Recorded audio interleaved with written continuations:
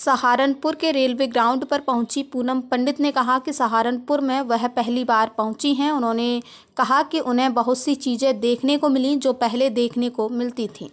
लेकिन यहाँ पर आज देखा कि रामलीला का आयोजन सरदार, ईसाई, हिंदू, पारसी ने मिलकर किया है। यह त्यौहार सत्य की असत्य पर जीत का प्रतीक है। वहीं रामलीला का आयोजक सरदार निक्कू सिंह ने कहा कि बुलडोजर भी सत्य का प्रतीक है। जिस तरीके से राम ने रावण के अहंकार का नाश किया था, उसी तरीके से बुलडोजर भी अहंकार को तोड़ रहा है। इसलिए उन्होंने आज रावण की सवारी बुलडोजर को देखिए सबसे पहले तो मैं एक बात बता दूँ यहाँ पर बहुत सी ऐसी चीज़ें देखने को मिली जो कभी बहुत पहले मिलती थी। आजकल आपको पता ही है तोड़ने की बातें की जाती हैं हर जगह लेकिन कुछ लोग ऐसे हैं जो हमारे भारत के भाईचारे को बरकरार रखते हैं। इसमें मैं आपको एक बात बता दूँ यहाँ पे जो लक्ष्मण का रोल कर रहे हैं वो एक ईसाई धर्म से है है ना? ये जो रावण जो प्रतीक है सबको पता है रावण जो दहन होता है सनातन धर्म में होता है लेकिन इस मंच को खूबसूरती से सजाने वाले एक सिख समुदाय के हमारे निक्कू भाई हैं और हमारे मुस्लिम समुदाय से मुजफ्फर भाई हैं और एक लक्ष्मण का रोल प्ले करने वाला एक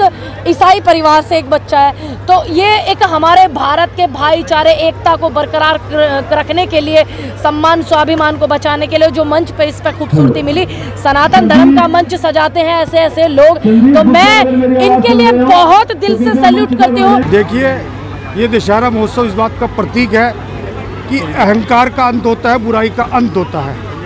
आज हमने बुलडोजर पर रावण को शोभा यात्रा में चलाया तो ये एक संदेश देने का प्रयास किया कि आप अपना अहंकार त्याग दीजिए, वरना अंत निश्चित है।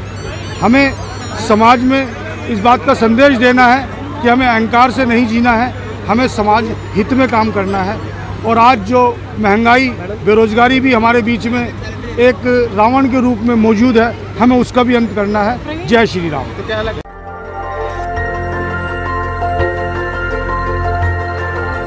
देखते रहिए डीबी भारती समाचार। नज़र हर खबर पर।